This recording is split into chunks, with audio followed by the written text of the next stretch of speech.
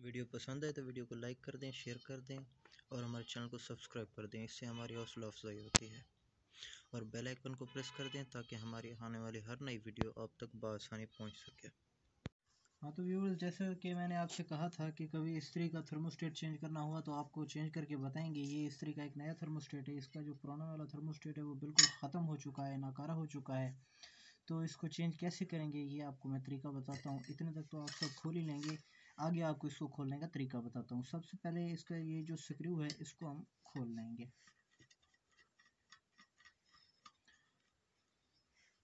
इसको खोलने के बाद ये सेंटर में एक स्क्रू लगा हुआ है, इसको खोलते हैं। स्क्रू भी कहते हैं, इसे बोल्ट भी कहते हैं। वैसे टेक्निकली ये बोल्ट है। ये इसको इस तरह से निकाल लेंगे। ये पुराना वाला डिस्पोज कर देंगे। अभी ये नए वाला हमारे पास है। इसको इंस्टॉल करने का तरीका ये होता है कि सबसे पहले जो भी नया थर्मोस्टेट आप लें थर्मोस्टेट की क्वालिटी के बारे में एक वीडियो मैंने अपलोड की हुई है, वो आप देख लें।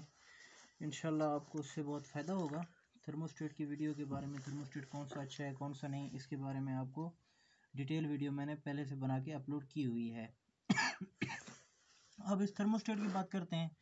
इसको जब भी इंस्टॉल करना हो, जब भी सबसे पहले इसकी ये जो ऊपर वाली स्ट्रिप है पतरी है, इसको हम ऊपर की जानब थोड़ा सा ये ऐसे ऊपर की जानब मोड़ देंगे।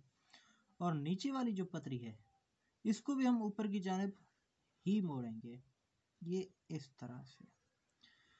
और इस चीज़ का ख्याल रखना है कि ये पॉइंट आपस में बिल्कुल जो है ना एक्यूरेट सेंटर में हो, बिल्कुल इनमें कोई फासला ना हो।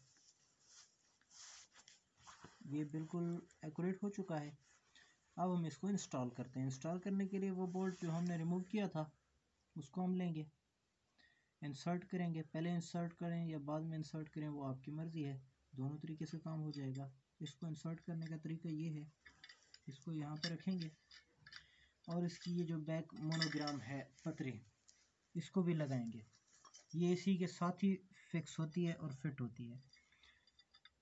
अभी इसको इसके होल पर ले आएँगे, जो इसके स्क्रू का होल है। और एक बात का ख्याल रखना है, ये जो पतरी है, इसके नीचे रहनी चाहिए, ताकि जैसे हम स्क्रू इसमें जो है ना चूड़ी बनी हुई होती है मूस लगा हुआ होता है, इसमें चूड़ी नहीं होती। तो जब हम ये अपना बोल्ट छोटा टाइट करेंगे, ये वाला तो ये सही से टाइट हो जाता है। इसको जो है ना नीचे रखना है इस पतरे के, ये इस वाली पतरे के। अब हम इसको इंस्टॉल करने लगे हैं। ये देख लें किस तरीके से इंस्टॉल हो रहा है।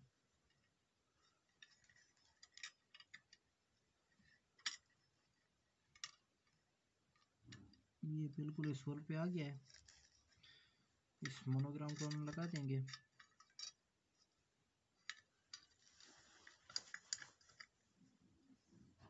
उसके बाद हम ये बोल्ट इंसर्ट करेंगे। इंसर्ट करने के बाद इसको हम अच्छी तरह से टाइट कर देंगे।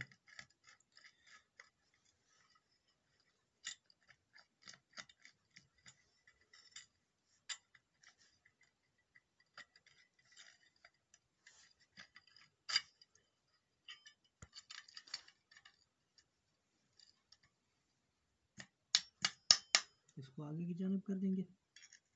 इसको यहाँ पे सेंटर में रख के इसको जो है टाइट कर देंगे अच्छा इस बात का ख़ास ख्याल रखना है कि इसको ज़्यादा टाइट नहीं करना।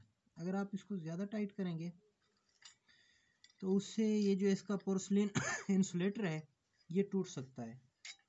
इसको ना ज़्यादा ढीला रखना है और ना ही ज़्यादा टाइट। नॉर्मल, बिल्कुल नॉर्मल।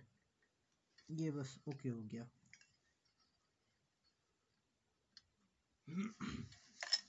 अभी ये देखेंगे ये होल बराबर नहीं आ रहे। इसको इस तरफ़ बेंड कर देंगे। इसको आगे की जानब ये बिल्कुल बराबर हो गए हैं।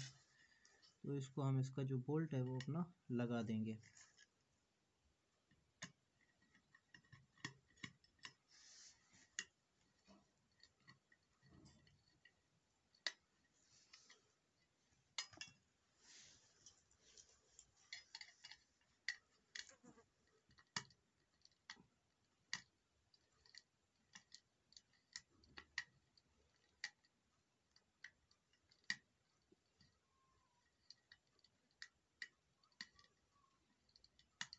इसको अच्छी तरह से टाइट कर देना है ताकि इसमें लूज कनेक्शन ना हो।